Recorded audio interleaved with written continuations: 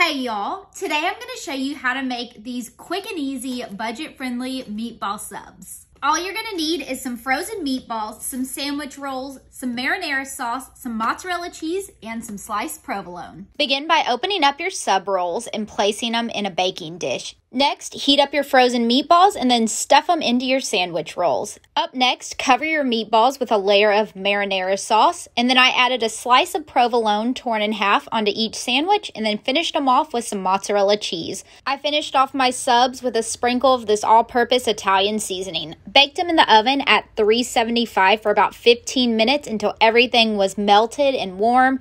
And y'all, this is a quick meal your whole family will love.